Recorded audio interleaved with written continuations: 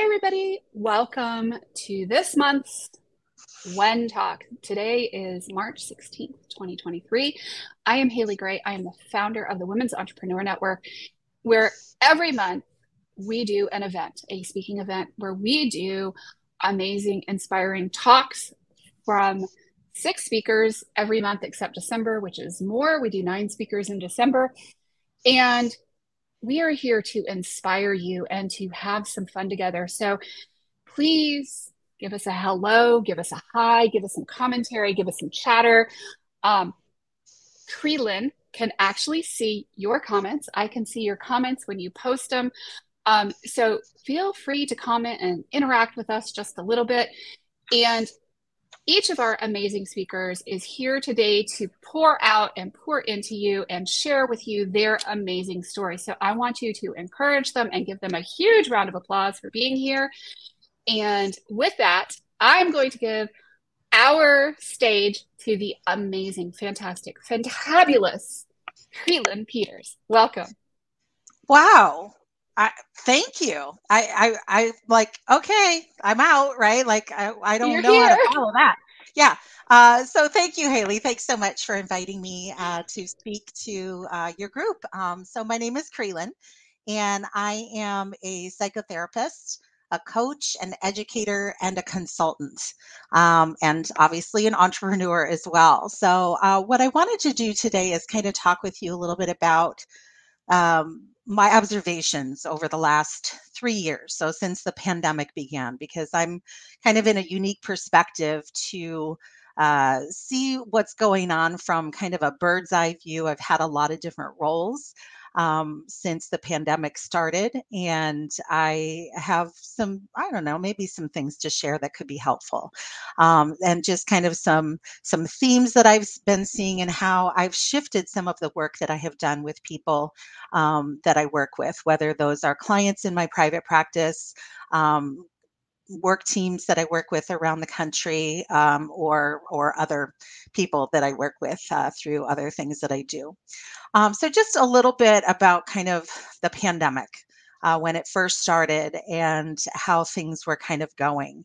Um, I noticed.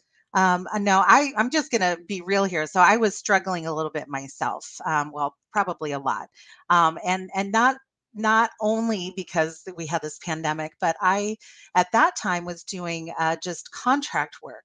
So my uh, my money went away, and and that was like a very obviously challenging uh, piece for me to have to deal with. I was doing uh, mostly uh, in person on site work, and uh, that went away.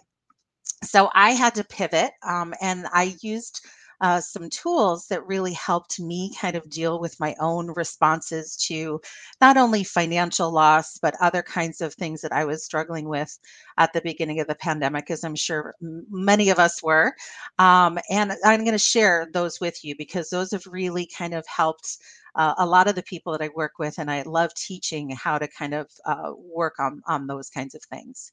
Um, so what I've also been able to do um, so quickly i was able to reestablish and pivot um, to uh, find other sources of income and new ways of working with people. So i went to uh, i went to mostly doing in-person work to online work which has been a tremendous gift for me to be able to do and i can reach more people. Um, and so I have been able to do that through my private practice.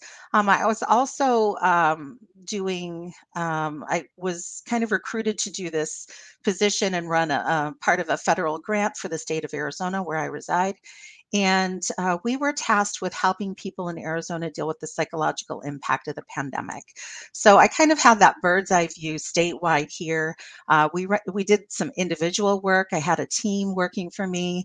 Um, we did a lot of group work and education and outreach to people within the community, especially people who were very vulnerable uh, during that time. And uh, so that I learned a lot from that. And we had to build up programming around resilience and teach different skills. Um, another role that I've had that's been really helped me kind of shift the way that I work um, is doing consulting um, with work teams around the country. And this is for people um, who have experienced traumatic uh, loss, and that could be related to the pandemic. So, uh, death losses uh, could be uh, traumatic injuries, people at the workplace, um, gosh, mass shootings, um, a lot of stuff that you see in the news, whether it's local news or national news. Um, I have been a part of things like that as well to kind of help people deal with the aftermath of those things. And so there's a lot of things that I'm kind of going over with people and teaching them and kind of how to deal with the impact of things, whether they are traumatic, uh, whether they are um, I guess kind of big T traumatic or little t traumatic. So it kind of depends. But for all of the things that people are dealing with, um, I, I kind of like to kind of give those those skills and those tidbits. So let me uh, just kind of talk about some of the uh, the themes that I have noticed uh, since then. So the first is grief. So probably not a big surprise. There was an article that came out, I believe, is in the Wall Street Journal uh, in, I believe it was March of 2020, and it was written by uh, grief. Actually, wasn't written by. It was it was uh, quoting uh, grief expert David Kessler, and he talked about how the the weirdness that we were feeling was grief and that was the grief over over many types of losses. So we have death losses and we have non-death losses. So when the pandemic started, we had, you know, just a lot of kind of things up in the air. We had a lot of changes going on, and really people were were struggling with um, so many different things. And um, what I have noticed over time is that um, people are are struggling to move through grief in ways that feel um, like like the grief is is moving forward and completing um, and often people are experiencing additional losses on top of what they've already experienced like, like i said whether those are death uh, losses or non-death losses. So non-death losses can be things like like i experienced loss of income um, you know people the, the loss of independence, loss of um, autonomy, um, just loss of freedoms, things like that. There's just so many different things. I know, uh, you know, a lot of uh, parents working at home and having their kids at home uh, for school, and then just kind of mandates were back and forth with kids returning to school. So there's just so many different losses that have kind of come up that have been um, different and new and very challenging for a lot of people. Um, and those things, you know, have kind of calmed down. But what I've noticed is that there's still this undercurrent of grief that's happening with a lot of people and like i said there's like one loss after another and and it doesn't necessarily um, mean that each loss is we we kind of take it in the same way or experience it in the same way because grief is such a, a very personal thing and we don't necessarily know how we're going to be affected by a loss until it's right there in our face. Um, but but I have talked to so many people who are just really struggling with having one thing after another and feeling like they can't catch their breath. So I've noticed that. But there's this that like I said, this underlying current um, where grief is kind of running in the background, and we and and of course.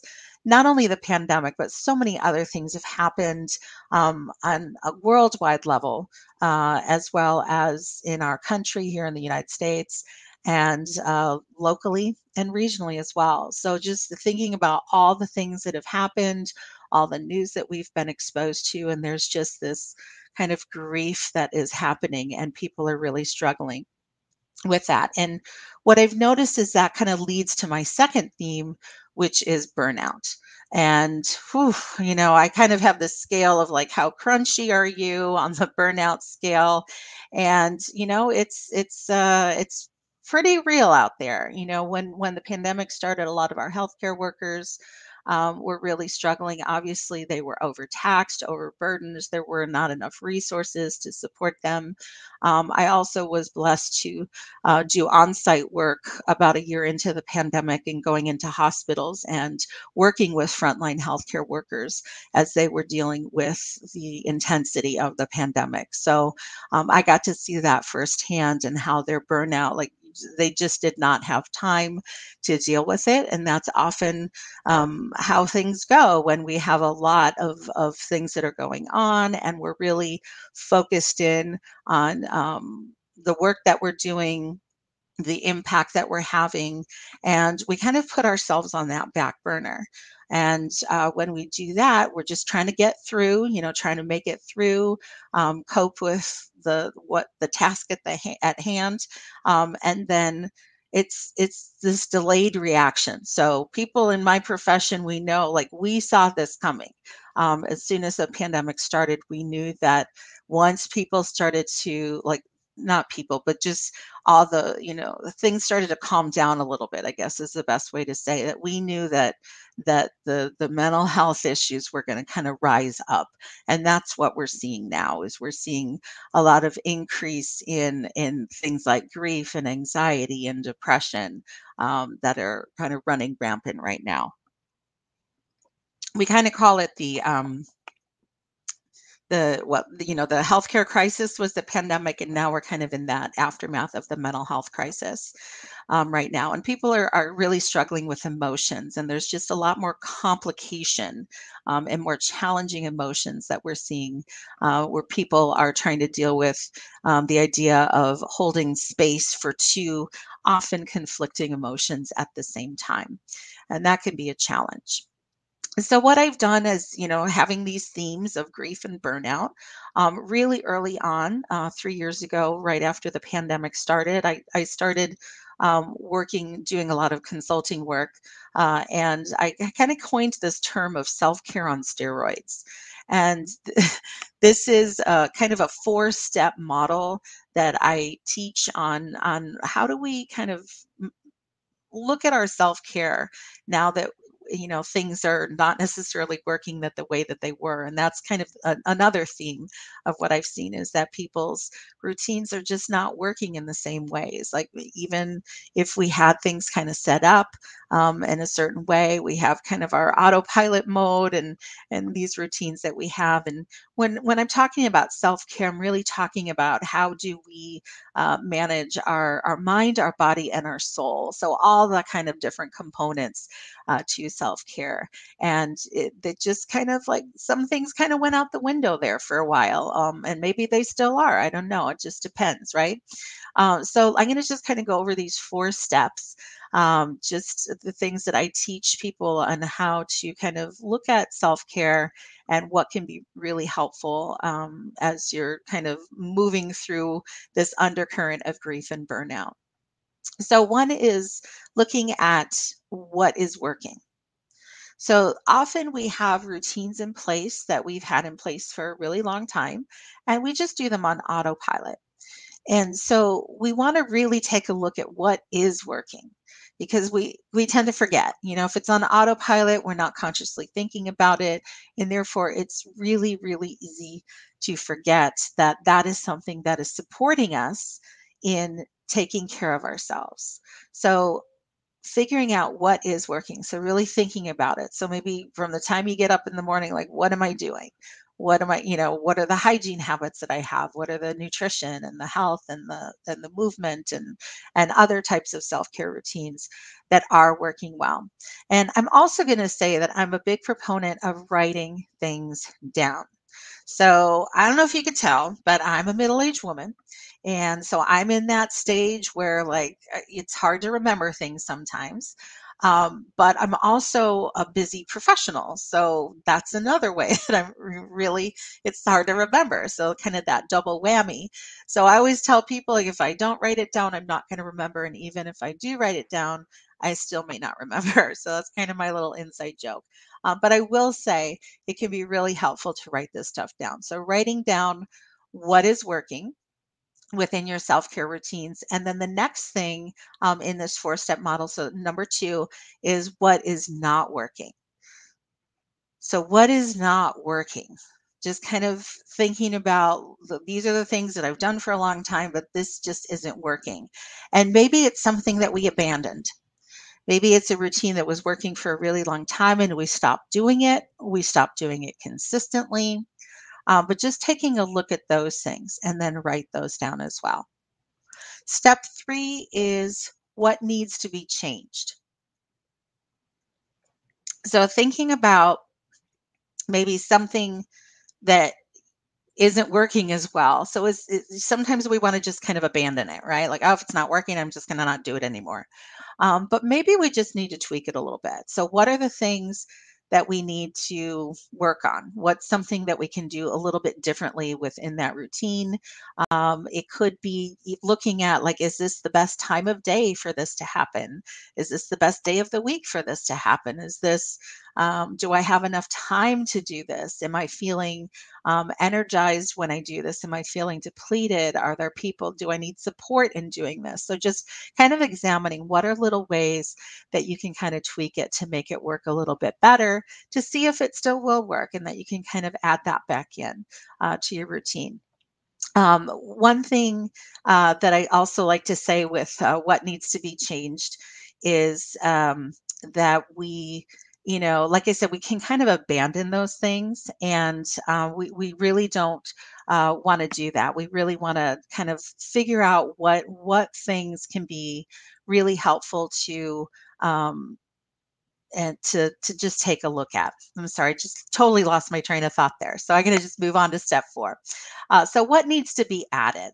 So this is where you know we've got the things that we know that work. We have things that we have abandoned that maybe we've tweaked a little bit, um, and then now what can be added? And this is the real big thing uh, that I've been teaching people is like what are the new things to try. So this might be something. It could be something that you abandoned a long time ago and you want to start it up again. Um, but it could be something that you've been wanting to try for a long time. Uh, so thinking about that, again, kind of writing those things down. Um, and then I'm going to kind of go into some of the, the what I call the key ingredients uh, when we are talking about resiliency. And these are the things that really helped me at the beginning of the pandemic as well. Uh, so the first is gratitude. Uh, and gratitude can be a little tricky because sometimes we're not in the right frame of mind for that, and we need some other kind of pre work before we can get there. Um, but gratitude, being really grateful for the things that we have. I know that was tremendously supportive for me um, at the beginning of the pandemic because even though I lost a lot of my income, um, I still was okay. You know, things were still things were still good. Uh, the second ingredient is mindfulness, and this is a wonderful, wonderful tool. Um, you may be familiar with it. Uh, definitely uh, a game changer. Uh, so mindfulness is really about being aware in the present moment, intentionally, without judgment. And there's different ways to practice mindfulness. There's the formal practice of when you are being led through it, or you're leading yourself through the practice of mindfulness, where we might be focusing in on our breath, we might be focusing in on our body. And then there's also the informal practice, which is how do we bring mindfulness into our everyday living?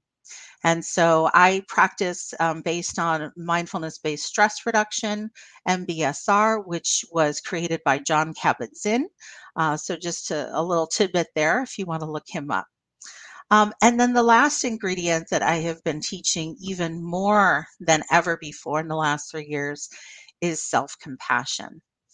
I've seen a lot of how people have been treating each other over the last three years.